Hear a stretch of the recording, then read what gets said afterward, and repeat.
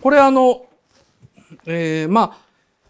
2018年の8月12日の第243回、ハウルの動く城のま、あの、まあ、まとめなんですけれども、まず、ソフィーの視点からだから分かりにくいという話をしています。えー、どういうことかというとですね、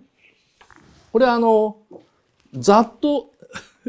歴史年表なんですよ。ハウルの動く城の、えー、お話が始まるまでにどんなことがあったのかっていうことと、ちょっと見えにくくなってるね。で、お話の後どんなことがあったのかっていうのをまとめてみたんですけども、まあ、あの、詳しくは前回の完全解説を見てください。で、ポイントはですね、この、え、二つ目ですね、え、魔法の体系化というのをですね、ハウルのおじさんがやってた。で、それによってですね、暗殺された。で、隣国、隣の国との緊張が高まった。で、5番目ですね、え、赤い字ですね、ハウルが逃亡して、で、その逃亡の時の、まあ、脱走劇に、えー、っと、サリマン先生は大怪我をした。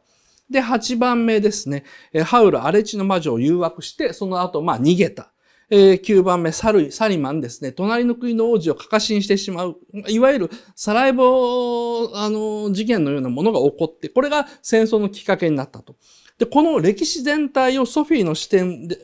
で見てるだけだから、まあ分かりにくいって話をですね、えー、前の動画でしました。で、次ですね。えー、っと、あとですね、まとめですね。えー、実はソフィーは魔女であったという話ですね。えー、これもですね、前回の動画で割との尺を取って説明したんですけども、あの、実はですね、原作ですね、春の動く城の原作にもですね、えー、ソフィーは魔法が使えるという設定あるはあるんですよ。あまり使われてないんですけども、あの、言葉を使う、言霊を使う魔法使いという設定で、まあ、あの、これがあるのでですね、えー、あなたはカルシファーっていうですね、あの、ハウルの記憶の世界に入った時、過去の世界にいた時に、ハウル、カルシファーというふうに二人をですね、名指しで呼ぶ。それまで実は、あの、カルシファーって星の子であって名前ついてなかったんですね。そのカルシファーに名前を与えたことによって、その、なんだろうな、ソフィーの魔女としてのもともと持ってた素質が、えー、あの、出てきたわけですね。で、おまけにですね、原作ではですね、あの、妹が二人いるんですよ。で、一人はですね、お菓子屋に就職してるんですけど、もう一人はですね、魔法使いなんですよね。で、えー、つまりこのハウルの動く城というのは魔法を使うのが当たり前の世界というかですね、まあ僕らの世界で言うと、あの、アスリートぐらいのまあ、程度だと思ってください。だから家族の中で運動神経がいいやつは運動部に入るのと同じようにですね、家族の中で、えー、魔法を使えるような素質がある人がいれば魔法使いの勉強するというぐらいの、まあ、それぐらいの世界なんですね。で、えー、ソフィーはですね、まあ、あの、さっきも言ったように、ハウルの子供時代に飛んで、そこでカルシファーとの契約に、えー、関与してしまうんですね。それが、えー、ここです。ですね。えー、このハウルとの契約の瞬間にですね、ソフィーがハウル・カルシファーと呼んでしまうんですね。でその呼んだことによって、両者とも、えー、ソフィーの目をはっきり見てます。目線が合ってるんですね。で、これによって、まあ、あの、えー、もう一度ですね、えー、私必ず帰ってくる、あなたに会いに来るっていうふうに言うことで、実は後にハウルは街の中でですね、ソフィーを見つけて寄ってきた。ハウルもですね、知らないうちに実は運命に引き寄せられたというよりは、実は大昔にかけられたソフィーの魔法で、えー、あの、再会というかですね、あの、初めての出会いがあったという、まあ、こういうふうになってるわけですね。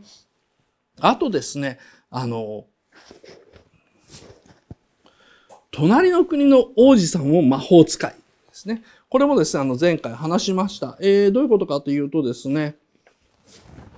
これあの、隣の国の王子様、あの、かかし頭のあ、株頭のかかしだと思ってたんですけども、その彼がですね、ソフィーに渡したのが鳥のステッキなんですね。鳥の頭がついてるステッキで、で、これなんでかっていうとですね、あの、城、えー、ハウルの動く城を初めて見つけた時にですね、ソフィーの手にしっかり握れ、握られててですね、で、ドアを開ける時にこのステッキがちゃんとアップになるんですね。で、それのり、それが理由でドアが開くんですよ。っていうのは、本当は誰も入ってこれないはずで、カルシファーがですね、見張っていたはずなんですけどもですね、えー、このステッキを持っていたためにですね、ハウルと間違えてドアが開いてしまったっていう事件があります。えー、つまりですね、あの、ハウルが鳥の魔法使いだというのを知っていて、この魔法の杖を与えたということなんですね。で、最後はですね、え魔法、あの、隣のですね、え国に、あの、ではさようならって言って、こう、棒に乗って消えていくんですね。で、棒に乗って飛んで消えていくんですので、あの、まあ、この隣の国の王子様が実は魔法使いだということが分かりますよねって話をですね、しました。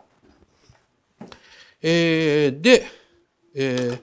ー、4つ目ですね。えー、ラストはですね、大魔女ですね、えー、魔女とか大魔女ソフィーの支配する城で終わるという話をですね、えー、これもあの、えー、前、前回とかですね、2018年のですね、考察でしました。えー、これはあの、どういうことかっていうとですね、ラストシーンがこんな風になってるんですけども、あの、カメラがですね、下から上へパンして上がってきます。で、下の世界では戦争していて、で、それでカメラが上に上がっていくと、雲の上ではですね、ハウルの城が飛んでいくです。飛んでいるんですけども、見てもらってわかる通りですね、ハウルの城、この時にはもう煙突が2本しかありません。で、実際のですね、ハウルの城っていうのはこちらにある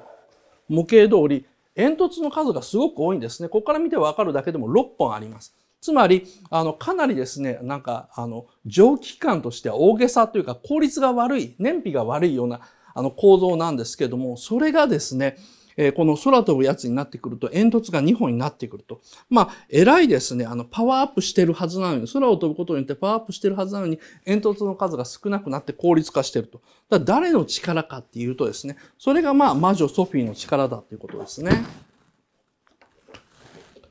えー、魔女ソフィーだという、まあ、証拠がまあ、これですね。えー、黒いリボン、ラストシーンのソフィーは黒いリボンをつけていると。魔女の宅急便でもそうなんですけど、黒は魔女の色っていうのはですね、宮崎アニメの中で、まあ、よく出てくるお約束なんですけども、で、あの、ソフィーってですね、最初、おばあちゃんになっても一番最初にですね、帽子につけていた赤いリボンつけたままですし、自分のお酒紙、お酒紙にですね、つけてた赤いリボンをですね、大事そうにこうつけてた。赤い色をちゃんと好む女の子だったんですけども、あの、荒地の魔女のね、服の色がやっぱ黒なんですよね。で、えー、魔女の色っていうのをですね、ちゃんとこう表してる。だからラストシーンでわざわざ黒いリボンのドアップから見せていって引いてキッシンになるということはですね、ソフィーが魔女だということを宮崎駿ははっきり見せようとしていると。ただ、それをですね、その観客すべてに知らしたいわけではないっていう。ここら辺あたりがこう複雑なところですね。